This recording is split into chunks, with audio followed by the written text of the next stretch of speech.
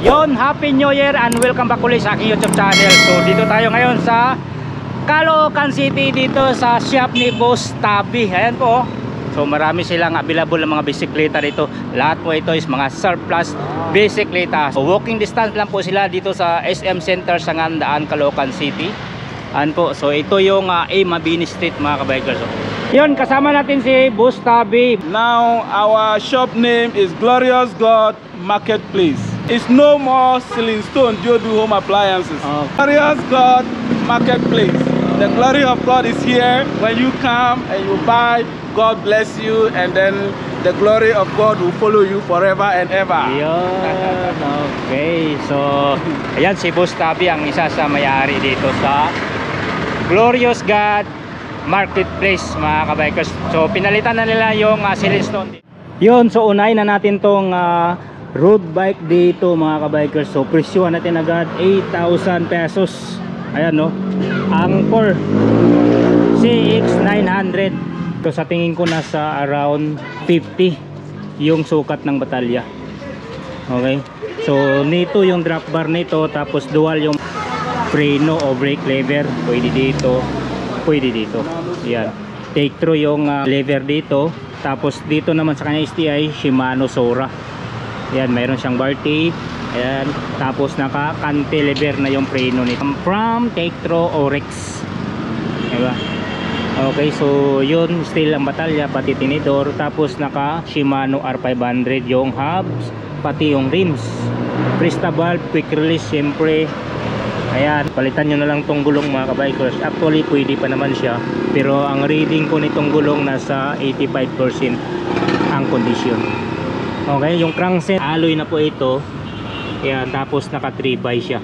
Ito ang kanyang peters mga kabikers. Oh ordinary tapos mayroon siyang size 10 alloy so nakakantilever pa rin yung preno sa likod ganun din yung hub Shimano R500 yung rims Shimano R500 pista valve yan yung saddle goods pa pwede pa naman from Forza so yung STI Shimano Sora ayan po 2x9 po ang setup nito ha maganda ang setup nito mga kabikers 8D Shimano Sora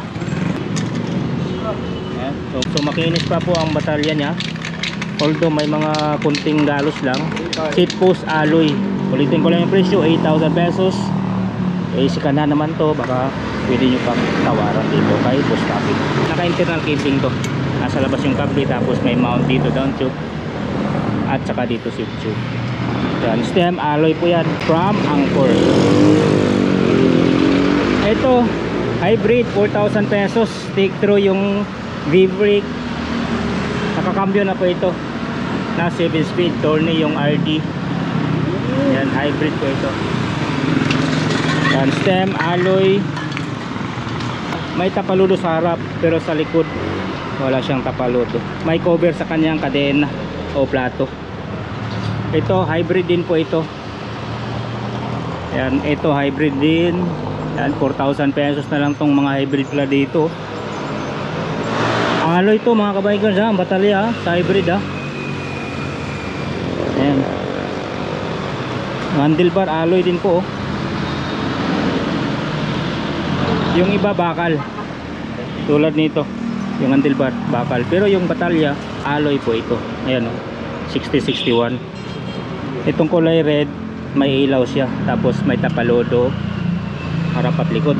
Itong puti harap at likod din yung tapalodo. Naka brake alloy din pala ang tinidor nito. Itong precision pati itong kulay white alloy. Itong box bakal. Pero yung frame alloy na. Ito 4,600 pesos medyo mataas ng konti dahil naka suspension naman siya 1x7 Shimano ang kanyang RD naka rim brake Revo shift, yung shifter, stem alloy. Batalya, syempre alloy po yan. Tapos, yung gulong niya, bago na oh, Ragusa. 25C ang gulong.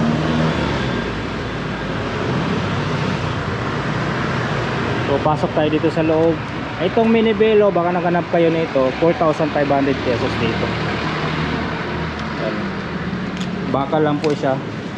Pero running condition to ha sasakyan nyo na lang po ito ha. Yan nakakambyo pa yan no? 3, 4, 5, 6 so 1 by 6 yung sit up naka V-brake tapos may mga tapaludo na yan. May carrier pa sa harap. Yan naka Revo shift yung shifter folding to 5 na lang po oh. running condition sasakyan nyo lang to gagamitin nyo na lang po yan. 16 inch po ang size na ito. 1 by 6 yung sit up ayan may tapaludo harap at likod. Mayroon pa siyang size gun tapos naka drum brake. Ito 2.5 din po ito. 1 by 6 naka drum brake sa harap caliper na mga bakal. Yan mayroon siyang basket. Ito hybrid 4,000 pesos. Alloy na po ito ha yung hybrid dito. Stem alloy pero yung handlebar bakal siya. Take through yung caliper tapos naka Shimano ang kanyang thumb shifter. Nakakaliper na yan oh. May tapalodo. Yan take through pa yung caliper nya 1 by 6 may size 10 ito 4,000 pesos din po. Alloy din po. Yan. Mga alloy pala tong hybrid. Weekend. Crankset alloy oh pati ito. Yung crankset nya alloy stem alloy yung tinidor lang bakal. Yan naka V-brake lang to. Ito kasi naka caliper mas maganda to kasi naka caliper na. Same lang yung price. Pero mas okay to. May tapaludo pa. Harap at likod diba? may mount pa siya ng basket. Kung if ever gusto niyo nang lagyan ng basket yan pwedeng pwede kasi mayroon siyang mount sa basket. Goods na itong pamalingkit ano, seat post yan mga alloy na po yan no? tapos naka quick release seat post clamp pa. Ito is 4,000 pesos. May 5,000 pesos may 3,700 pesos. Electric to mga kabikers pero as is condition siya ayan electric na jack bike. Di cambio pa siya oh. Yan yung iba wala lang battery. Ito mayroon pang battery. Itong tatlo. Ayan, so iba yung presyo. Bobby this one as is? Uh, Ah, it's not working. condition. Are all good condition, but no charger. Ah all good condition but the problem is charger Some don't have charger. charger, some don't have a, uh battery and charger. oh some don't have battery some don't have charger. Yeah, so that's we why the price them. is very cheap yan 5,000 3,700 4,000 oh, still negotiable pa mga kabikers. Dito sa electric jump bike. You can still ride it manual. you can ride even there is no uh, battery and uh, charger you can drive also by pedaling. Naka-english tayo ng di oras dito mga kabikers ito mayroon ako nakitang maganda dito. Ah anong tawag na ito? What call this one Ah, cruiser bike. Yeah, I forgot. Cruiser bike. Yan, naka-banana type pa yung saddle niya, oh. Mahaba. 3,800 pesos yung presyo. Ito, 3,200. Ay, magkaibang laki ng difference, oh. 3,2 and 3,8. Gustabi, bakit malaking difference nito? 3,8 and 3,2. this one, What the difference? this one may cambio. Ah, This one is okay. This one is single speed. That's why 3,200 pesos. So the other one is 3,800 pesos because there is a shifter. 1 by 6 speed. Okay. Now I know. Now I know. Ayan. So baka naghanap kayo ng BMX 3,000 right? Yun, 3,000 pesos. Makinis pa sa jowa nyo mga kabikers. Oh. Ang kinis niyan. No? Siyempre BMX bakal talaga ang batalya niyan. Naka Promax yung ah, mga preno. Yan, V-brake niya Promax, lever Promax, 3,000 pesos. Makinis na makinis mga kabikers. Sasakyan nyo na lang to. Ayan no. 3,000 pesos. Mini Velo. Yan. 4-5 mga kabikers. Good condition. Running condition. Sasakyan nyo na lang po ito. Weekend. Or ano sino ba to? Doppelganger pala to. Doppelganger na ano. Mini Velo. 1 by 6 ang setup crankset alloy. Yan. Ay ito pinakamura 2.5 mga kabikers so jump bike single speed. Yan, perfecto pamalingki. Basta lagyan nyo na lang basket sa harap kasi may carrier na sa, sa likod. Yan sa halagang 2.5. Ito 3,500 pesos. Diba? Mayroon siyang makina oh. Mayroon siyang motor. Pero alam ko hindi na gumagana kasi yung presyo 3.5 na lang. So kayo nang papagawa dyan mga kabikers. 2,000. This one how much? 16. 16,000. How come? How come 16,000 this one? Yeah, it's very expensive. Ah? It's just very expensive. That's uh, vintage. Ah, because the value vintage. Yeah. Okay. You sell this one how much? 16,000. 16,000 as is condition. Wow. 16,000 as is condition pa. Grabe vintage kasi siya mga kabikers kaya ganun yung presyo niya. Ayan. Ayan yan, mayroon ditong Branded steel are here. We have the ordinary size 16 here. These Mhm. are size 16. size 16, And these are the branded steel Jeep. Jeep. Volkswagen. Jeep. Jeep, Hammer. Volkswagen, Hammer, Yeah. Uh, Calzato. yeah. This one the branded how much? The branded ones, uh, minimum of five pieces, 2,300 each. 2,300 each. Yes. But the ordinary folding bike ordinary is uh, 1,800 each. 4,800 each. Yes, minimum of five pieces. Minimum of 5 pieces yun. Pwede dito pang mag-wholesale mga kabikers ha. Pagka wholesale, mas makakamura kayo dito sa mga bisikleta ni Busta. Ayan no, i-wholesale nyo na to. Mga gustong magnegosyo, ayan, ngayong 2024, Good running yan pwede. Ito, 2,700 junior mountain bike. Junior mountain bike, Yes. 2,700. 2,700 pesos. Running condition. condition, yes. Ah, okay, running condition pala to. Nakatambak lang dito, ibig sabihin sasakyan nyo lang to talagang 2,700 di ba? Yun, aakyat tayo dito sa second floor. Yan, marami pa po dito. So actually, mayroon silang mga kitchenware dito, mga gamit sa bahay. Oh. Ayan, binibenta po yan ng ah, kalahatan. Lahat na po binibenta. Isang bintahan na, hindi yung ah, ah, buy items. Yan, pakyawan na po yan. Wholesale. Dito tayo sa taas. Yan oh, budiga din po ito. Wow! Ayun. Mga folding bike pala to mga kabikers oh. Andito yung mga folding bikes. So sa mga ordinary na folding bikes, 1.8 yung presyo. Pero pagka may pangalan, 2.5. Yan, so yeah. Grabe oh. Mga folding bikes. So lahat naman to mga bakal mga kabikers. Actually wala tayong nakita ditong ah, alloy. Meron itong folding na may suspension.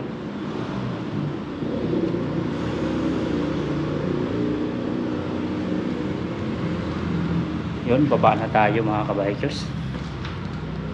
Ano kaya yun? Yung kulay red. Check muna natin to. Makahaloy to. Ah, bakal din. Wala tayo nakitang alloy dito. Lahat ito mga bakal. Yun, so kung naghanap kayo ng mga murang folding bike, pwede kayong pumunta dito kay uh, Bustavi. So wala nga lang siyang ah, ah, pangalan o signage kasi ginagawa pa nila. So dating uh, Stone, ngayon ay may bago ng pangalan na Glorious of God Marketplace. Yan, kung di ako nagkakamali. So dapat siguro na bumisita kayo dito sa ah, bike shop ni Boss Tabi. So andyan naman po yung location at saka contact number sa screen. Yun, ulitin ko lang, walking distance lang po sila dito sa may SM Center sa Ngandaan, Caloocan City. So, These what about this, Gustavi? These are ceramics. Ceramics. Uh, ceramics. We have also plates. Please, A lot of uh, kitchenware. Kitchenware artifacts. Yeah. Okay. So, this one is by items, you sell by items or? Uh, this one actually we don't sell by item. We sell take all. Take all. Take Oh, all. take all. That's a lot. It's a lot. It's uh, many, many, many, many, many good stuff. Oh, one cup, Branded, not branded. ceramics. Next one? Ceramic. Ceramics. Oh, These are the porcelain types. wow. Yeah. Hmm.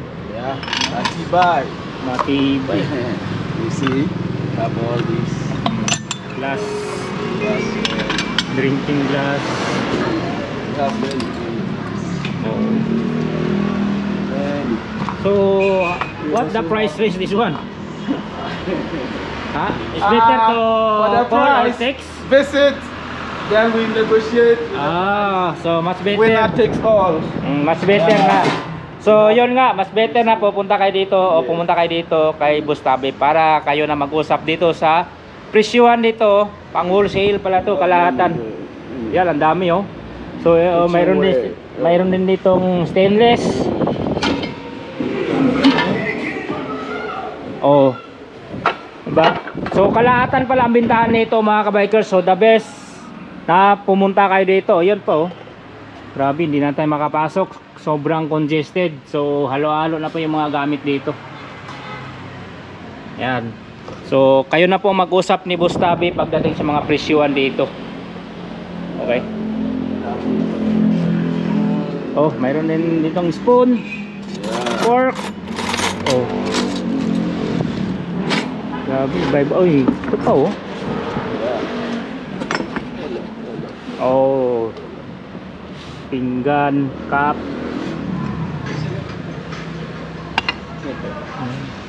Eh, ito may design pa oh.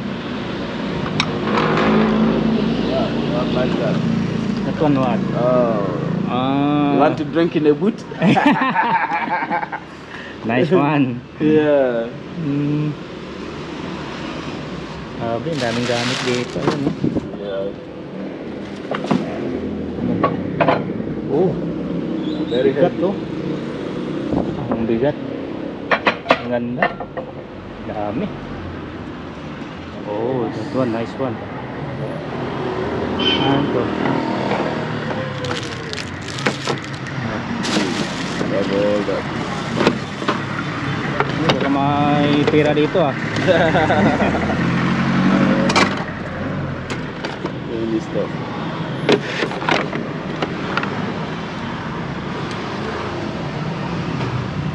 Yun, no? Yun, kasama natin si Boss David. You changed the name of your bike shop? Yes, yes. The name has been changed. Yes. Ah, Before Selling Stone, right? Yeah, before Selling Stone. Now? But now is Glorious God Marketplace. Uh, you can search us on Facebook. We have a page on Facebook, Glorious God Marketplace. We have a group which is also Glorious God Marketplace. You can join and then uh, we can chat from there. So later on, you put the signage, right? Yes, everything will be put there. Next time you come here, you'll see it good and written there. These bikes are Japan surplus. They are Mhm. from Japan. Yes, they are from Japan. We have road bikes, we have fixie, we have mountain bikes, we have hybrids, alloy and steel. We have a Japanese bike, we have folding bikes. Mhm. And we have mini velo, fat bike, uh, three wheels, trike bike. Uh, we have a pedal assister, many many assort, assorted bicycles. You can visit our place here. Uh, as usual, says to 4A Mabini Street. You can come there. We are, we are near SM Sandaan, uh, opposite Sibuana, and beside Highway Burger. You can just visit our, our place. It's very cheap. We sell our things at a wholesale price. Uh, with a wholesale of uh, the Ja- Japanese bike, we have up to 1,800. 1,800. And then uh, with the folding, also we have uh, 1,800. Uh, we have a mountain bike um, hybrid steel, which is as low as 2,000. And then the alloy, which is as low as 3,000. Uh, You can't just visit. Buy many, you get a very nice discount. Yeah, if you buy one, yeah, there's a discount, but it's Ah. not as low as buying wholesale. Okay, yeah. So you're welcome. Uh, you come here and then get yours, and the glory of God will follow you forever. Business hours? Business hours we are open from uh, Tuesday to Sunday. Uh, Mondays is not really certain that we open. Yeah, so uh, for the Monday, sometimes we open, sometimes we Close. don't open. Yeah, so uh, you just uh, to be sure, you just come on from Tuesday to Sunday. We'll be here. Or you call my number uh, 09 6720 You can call me, uh, text me, English or Tagalog, There's no problem. no problem. Just visit. Yeah. Okay, so yon mga kabikers, ang pinaka-landmark po dito, walking distance lang po sila dito sa SM Center sa Gandaan, Caloocan City. Ayan po. So, Boss Tavi, thank you so much. Uh, Happy New you Year. Happy New Year to God bless. everybody, all subscribers. I salute you.